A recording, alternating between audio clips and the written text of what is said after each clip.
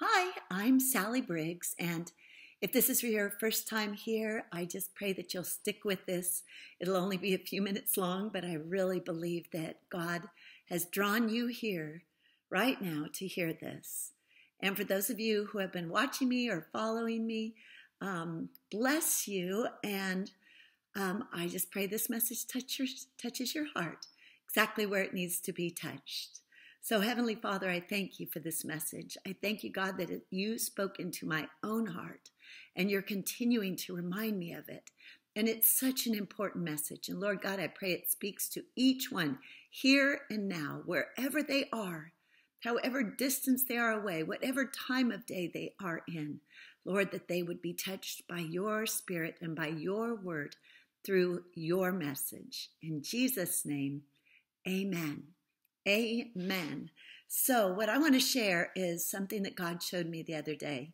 And I know I've shared this a little bit with a group of women already, and but God is continuing to transform it and show me more.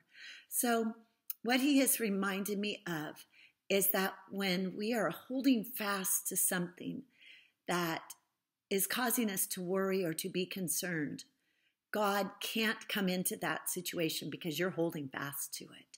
You have got it. You've got it in your mind.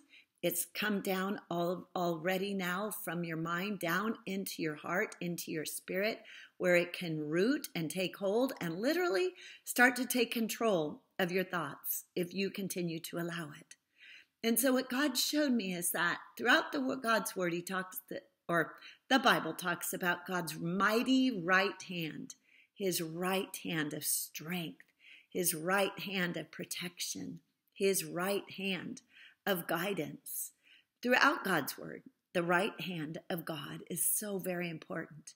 But when you're holding tight to whatever you're holding tight to, you can't release and take go take hold of God's right hand, his mighty right hand that will take control of your situation and be the caretaker of your situation if you're willing to give it to Him or give them to Him or whatever it is that's consuming your mind.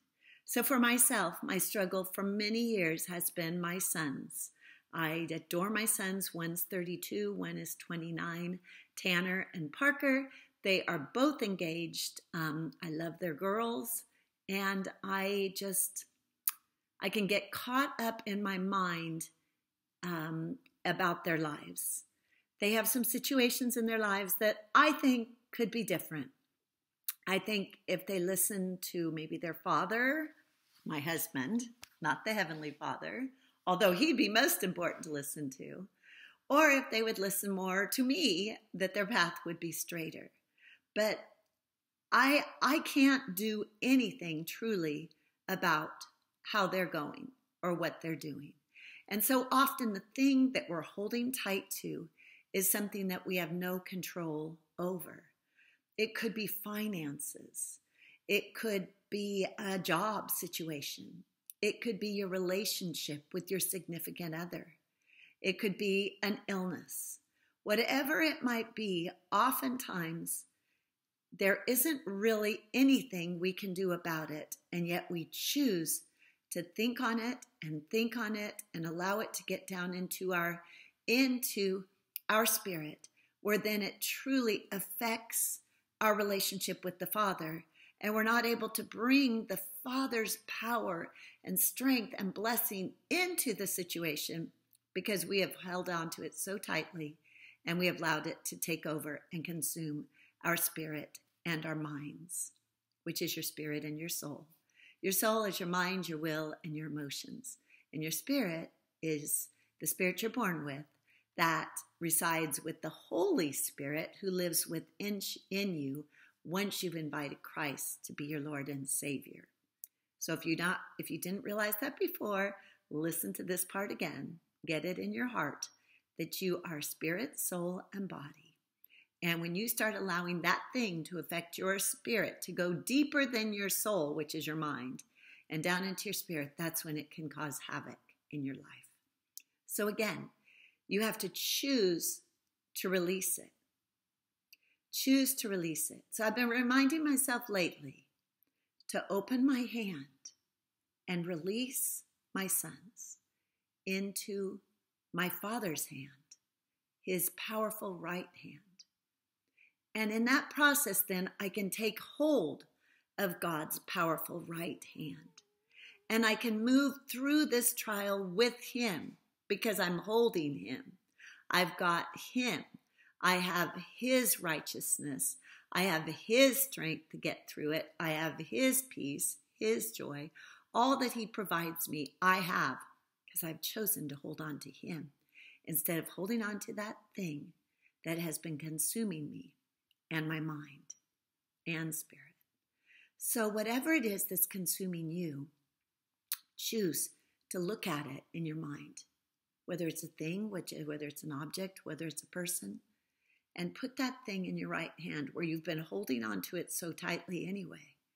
But choose to release it, to release it to your Heavenly Father. He tells us to cast all our cares to Him Choose to cast that care to your Heavenly Father and then take hold of His hand. Take hold of His hand and picture yourself taking hold of His hand so that He can be the one to lead you through and get you past. And He also, can be the one that comes in with His mighty power in your situation, in your children's lives, in your spouse, in your job, in your financial situations, whatever it might be in your illness, when you allow Him and you hold His hand, His power is made available to you. It's made available to you because you've let, let go of that control of whatever it is that's been consuming your mind and your spirit. So, Heavenly Father, I thank you for this sweet message that you gave to me. I thank you for the power that's in it. Lord God, that we can do it through you. We can do it through you because through your Son, you have given us the strength to overcome whatever we need to overcome. And so often the battlefield is in our mind, and that's what we need to overcome.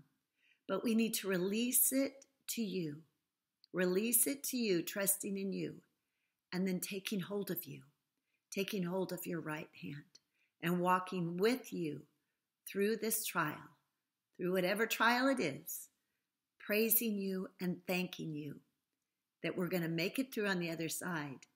And whatever your timing is, it's going to be perfect. And I pray this in Jesus' name over everyone who is listening now.